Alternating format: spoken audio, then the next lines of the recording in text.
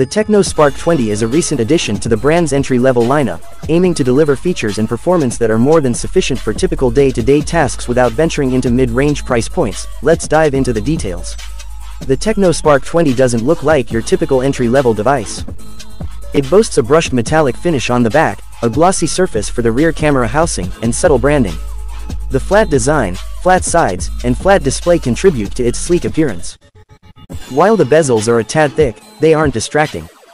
Notably, the Spark 20 features dual speakers and retains the beloved headphone jack for wired headphones.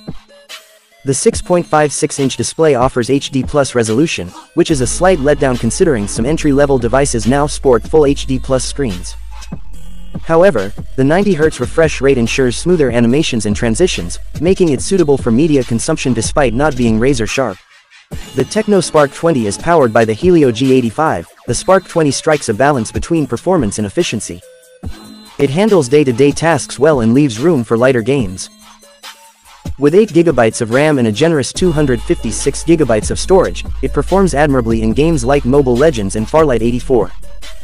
Even Diablo Immortal is playable at 30 FPS with medium resolution and low-quality settings.